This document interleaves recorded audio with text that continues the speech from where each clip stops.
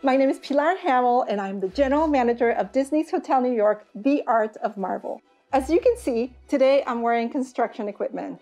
We are still doing a lot of different things in the hallways, in the rooms, in the public areas, in the restaurants, but I just, I couldn't wait to show you. So I wanted to invite you in, even though we're still under construction, to give you a sneak peek of what's going on. I'm very excited to introduce you to Tom Mueller. He works for WDI Paris, and he will share with you some wonderful secrets about the design and some of the behind the scenes. Disney's Hotel New York, The Art of Marvel, everything's in a title. We actually did such a clever mix, really a fusion of all the codes that are related to New York and all the codes that are related to the Marvel Universe, and just try to combine everything in order to create the best experience ever for the guests. There is such a great array of artwork on display in the bedrooms. There is in total 471 superior rooms in the hotel, and all the bedrooms and suites included 561 rooms in total. And for all those rooms, we actually produced, printed, and framed over 1,400 pieces of art that are actually hanged on the walls.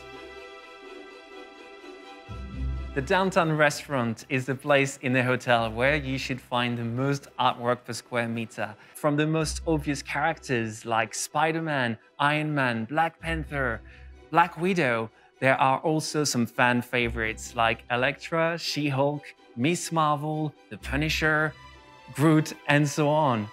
And we really have some pieces by iconic Marvel artists like Jack Kirby, Steve Ditko, and more recent ones like Skottie Young.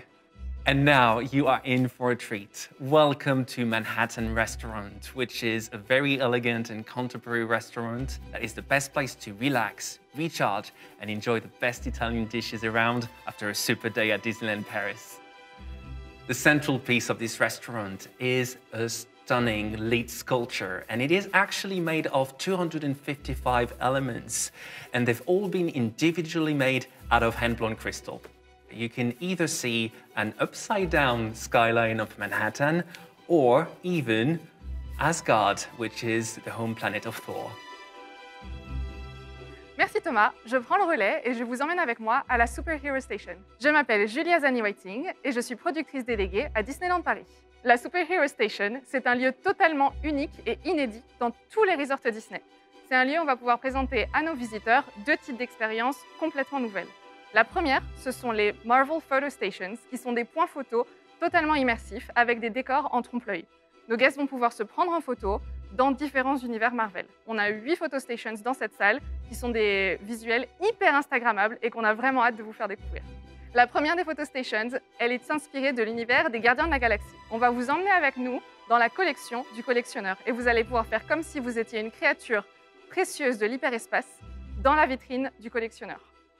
Dans la photo station de Thor, vous allez trouver le marteau de ce super-héros. Ce sera à votre tour de tester si vous êtes digne de pouvoir le soulever.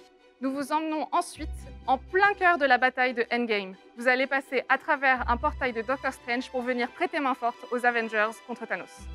La deuxième expérience, c'est que nos visiteurs vont avoir la chance de pouvoir rencontrer un super-héros Marvel. Et on est très heureux d'accueillir ici Spider-Man.